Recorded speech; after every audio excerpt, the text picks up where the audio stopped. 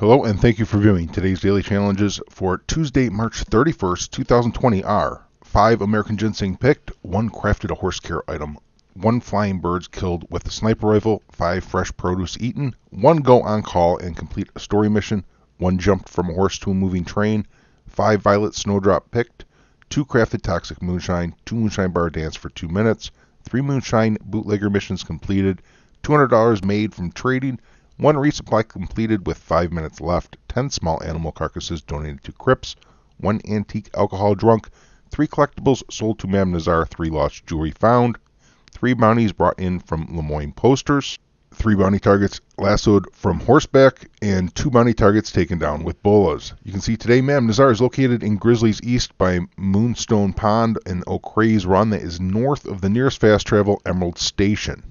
Real good easy way to get a train to spawn is to start up the Red Ben Clempson Legendary Bounty. These ginseng locations here just outside of Valentine are all American ginseng, and also not far from Valentine, you'll be able to find your violet snowdrop to the northeast up in Cumberland Forest. And finally, for you, there is a spawn where you can pick up 15 apples down in Lemoyne in order to get your fresh produce eaten. Hope this helps you out. I'll catch you all next time. Until then, happy hunting and happy trails.